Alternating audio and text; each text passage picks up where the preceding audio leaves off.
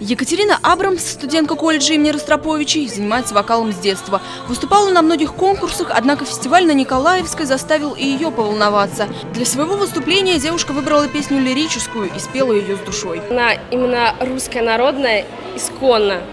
И так как ее поет Зыкина, она мой самый идеал, и поэтому я стремлюсь к этому. Сергей Сагдеев тоже сам подбирает композиции и себе же аккомпанирует.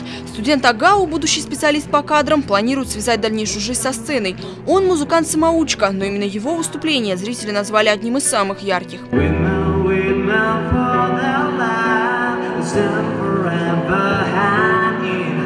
Я очень люблю пианино, и я не люблю выступать под минусовки. То есть мне лучше, когда живые инструменты участвуют. Танцоры проекта «Винстеп» для своего номера выбрали наряды необычные. Ну, деревенский мужичок, ни о чем не думающий, вышел утром покурить.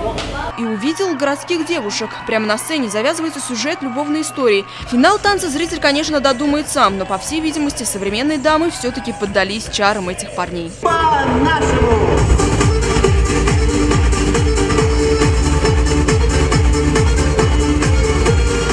Русские красавицы из театра моды Светлана не просто прекрасно двигались на сцене, они показали, какими могут быть оренбургские девушки. У меня образ достаточно такой стилизованной русской невесты. Ребята из железнодорожного техникума на сцене «Они театр теней» стали фаворитами конкурса. Свой номер они делают руками, в прямом смысле слова. За считанные минуты на глазах у зрителей возникают десятки композиций. Чашка кофе, лес, река.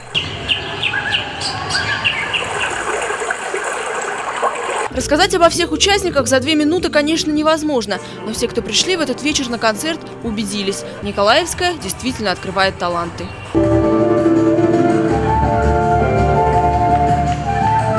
Юлия Гафарова, Дмитрий Журавлев. Наше время.